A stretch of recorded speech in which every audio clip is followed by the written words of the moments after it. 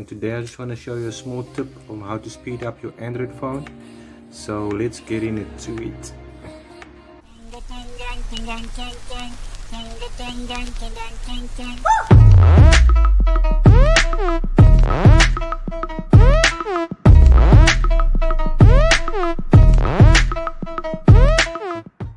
Screen where it shows your settings.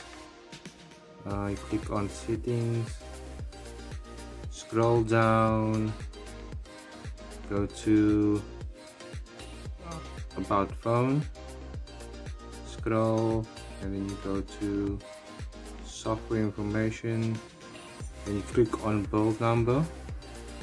Until you see you are now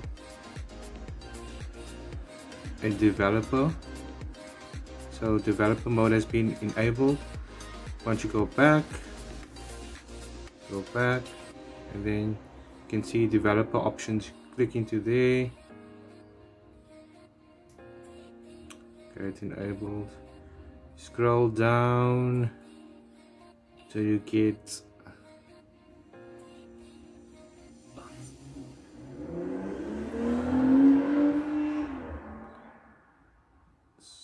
your Windows animation, transition animation scale and the animator duration scale. So this, you basically change it to either 5 or off. I prefer it to be off.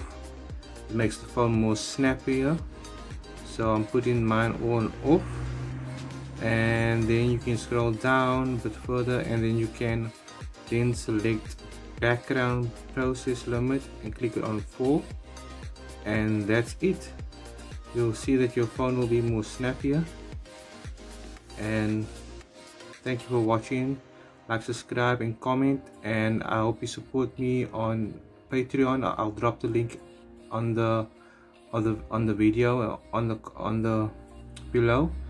And i thank you for all the support and all my new subscribers. See you on the next one. Cheers. All your goodies um, accessories sports uh, equipment and household goods you can go to Mantality south africa's online store for men and check out uh, what they have. They've got quite a cool things. And you can support um, this uh, going on there and buying some goodies for yourself or your parents or for a gift you can find some nice goodies on there. So check it out at Mantality. Thank you